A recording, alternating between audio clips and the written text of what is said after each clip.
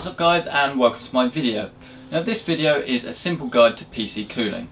When you're choosing your PC it's really important to consider cooling because it's all very well having all these different components in your PC but if your cooling's not sufficient enough then not only are your components not going to run as efficiently as they could but they're going to run louder and in some cases they may not actually work to their full potential at all. The first consideration is to know what sort of system you're trying to build. Are you after a budget PC are you after a really, really quiet PC or are you after a really, really high performance overclocked PC? And it depends what sort of PC you want it to be, then what sort of cooling you'll need to cool that PC. Now there are two main types of cooling.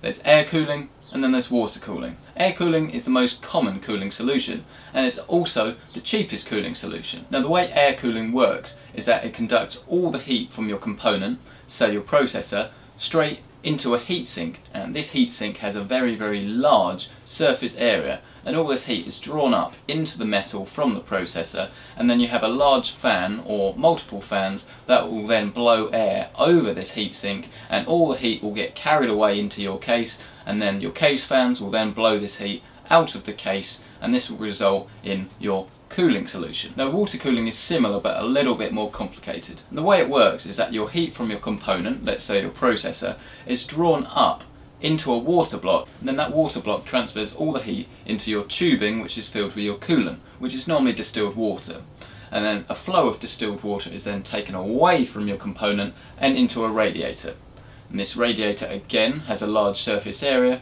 and then again you've got fans that will blow against this large surface area and will blow all the heat outside of your case. Now water cooling is more efficient and this is just because liquids do a better job of transferring heat than air does. And so by using a water cooling system, you can get more heat out of your case in a shorter space of time. And this also means that you won't need to use as much air, so you can have your fans on a lower RPM, which means less noise, than you would with an air cooling solution but it is more expensive and it is a little bit more complicated. Now air cooling is much more common, but if you are looking for a solution that's a bit more advanced and will give you extra performance, then water cooling is definitely the way to go.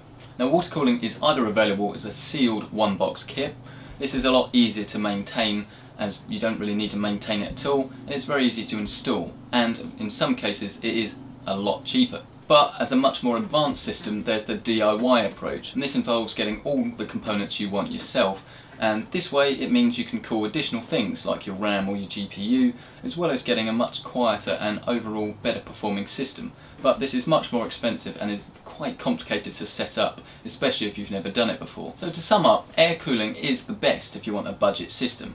It's the cheapest and in some cases, if you're not going to overclock, it is very quiet as well. But water cooling is the better cooling solution. It is a bit more expensive, but it is worth it if you think you're going to be overclocking or if you want a really, really quiet system with the extra performance of some overclocking. But if you want the best, which is a silent, super overclocked rig, then a DIY water cooling kit is the only way you're going to be able to do it. You're going to have to buy all the components yourself. You can get them in a kit that will give you all the different components you need, but if you're really serious you should do some shopping around and look at what the best components are and different GPUs require different GPU blocks and it does get a bit complicated but if you want the best that's the approach you're going to have to take. Thank you very much guys for watching this video. If you want other videos like this and other computer videos, other simple guides, then subscribe to PC Centric. Thanks for watching and I'll see you next time.